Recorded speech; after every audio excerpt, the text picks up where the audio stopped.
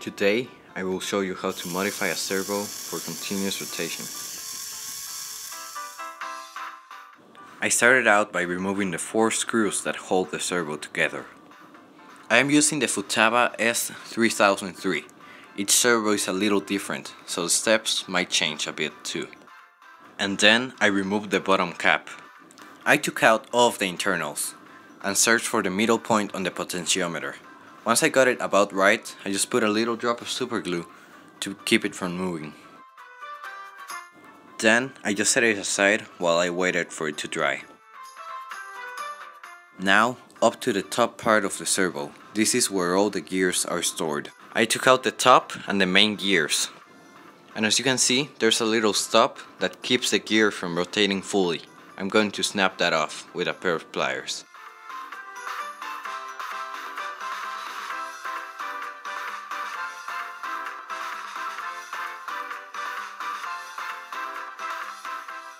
Once that was off, I used the file on my multi-tool to file it down flat, so it could spin freely. I used a servo horn to hold it down, to make this process easier and faster.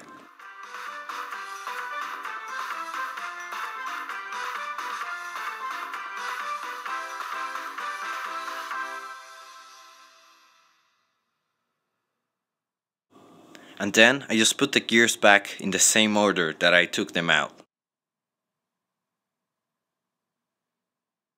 And as you can see it can rotate freely now. Once the glue in the potentiometer was dry, I just used the same pair of pliers to snap the shaft off. This way the potentiometer won't spin, that means that it cannot output feedback. Then I just put it back in its case and closed it up.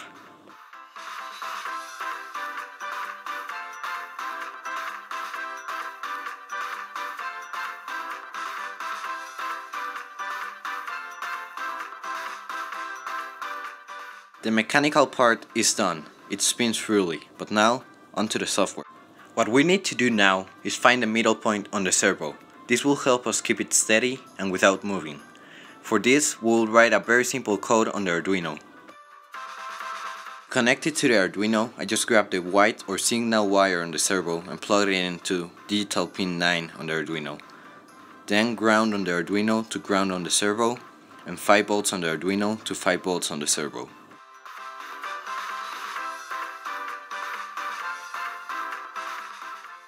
This is a quick code that basically tells the servo to move to the angle 85.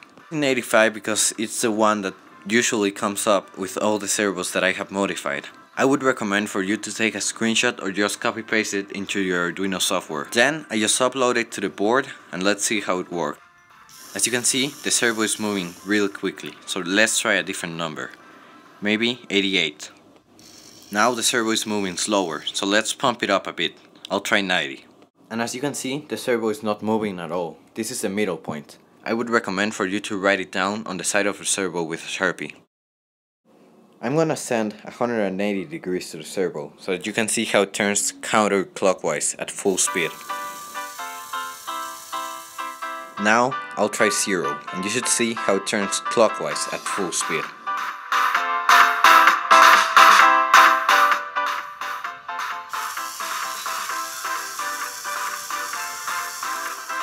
Thanks for watching, please like, share and subscribe to my channel for more videos like this one every Friday. Also, put in the comments below what you would like to see me build next.